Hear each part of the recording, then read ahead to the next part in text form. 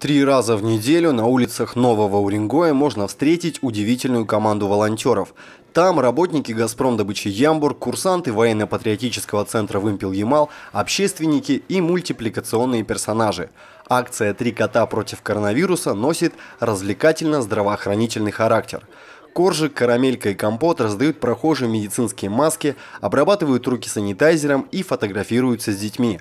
За 10 рейдов подарили несколько тысяч СИЗов – еще одна цель походов – осмотр детских площадок.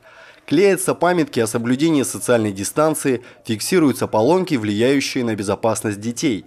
В частности, нарушение напольного покрытия, отсутствие заглушек на болтах, разрывы канатов – Информация об этом передается в администрацию города для дальнейшего устранения проблемных участков. Намного приятнее сейчас уже, на самом деле, ходить в эти рейды, потому что первые часто сопровождались негативной реакцией людей, детей и вообще вот всех абсолютно жителей, что были не готовы принимать маски, не нравилось вообще все это отношение.